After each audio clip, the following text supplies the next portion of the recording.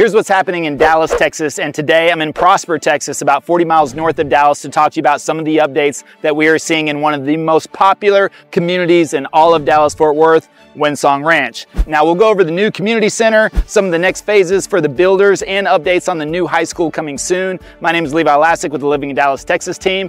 This is Windsong Ranch in Prosper, which has over 2,000 acres of a master plan community with over 3,300 single family homes, four amenity centers, centers, two fire stations, and over 600 acres of green space. So its claim to fame, of course, is the five acre Crystal Lagoon with white sandy beaches where residents can swim, paddleboard, kayak, and host other activities. But they're still building, and here are some of those updates with some of the few lots left. Now, first things first, we are standing here on Old Rosebud Lane, which is kind of like the model home row of the Creekside subdivision in Windsong Ranch. And behind me currently under construction is the brand new community center for Creekside called The Bridge. Now inside, there's gonna be a multi-purpose event space for fitness and cultural classes, parties, weddings, receptions, uh, and, and other things like that. Catering kitchen with large seating area and a fireplace. So the outside space will be surrounded by green space, uh, flexible gathering spots, large open lawn areas, and trails throughout. And so also coming will be an amphitheater style seating overlooking the pond. And so this amenity center is slated to open up about about October of 2024. Now the fourth amenity center is called the Courthouse is also underway with an expected arrival date sometime later this year. And this amenity center will feature a racket sports club with several covered and uncovered racket courts. And this will also have a BYOB beer garden where you can grab a beer, play some pickleball, and relax uh, in, a, in a pretty cool environment. Now, moving on to some of the builder updates. First of all, we have Tradition Homes building on 61 and 71 foot lots in the Point subdivision. They currently have about 50 lots available, ranging anywhere from 924,000 up to 1.2 million. They even have a few incentives, uh, including up to 30,000 in builder incentives, 3,500 in lighting, and up to 4,000 in lender incentives at this time. Next, you have Southgate Homes, who recently opened up their newest 71 foot model north in the Overlook subcommunity community. Now this model is a five bed, five and a half bath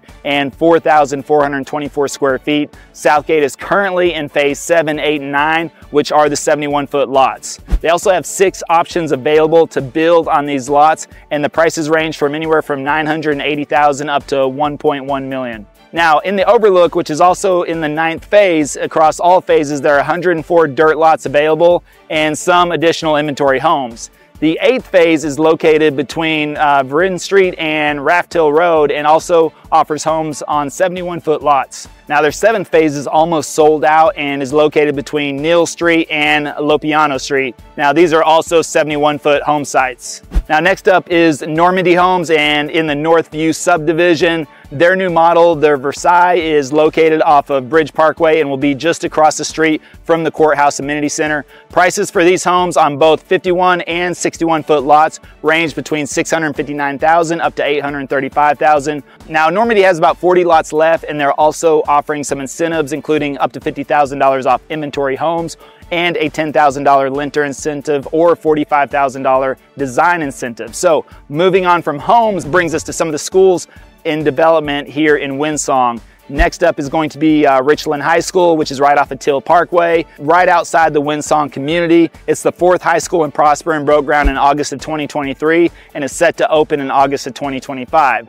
The Richland Raiders, which will be touting purple, black, and gray, will have an academic building spanning 530,000 square feet, 75,000 square foot multi-purpose center, a thousand seat auditorium, uh, 2,200 seat arenas. I mean, it, the list goes on. It's going to be crazy. The other middle school and high school slated to open north on Teel Parkway have been on the back burner. Teel Parkway is seeing a lot of development right now. We have uh, the Windsong Ranch updates, the new high school, but there's also a new development underway from Shaddock Homes. Now on the southeast corner of Prosper Road and Teel Parkway comes the Park Place of Prosper Phase 2.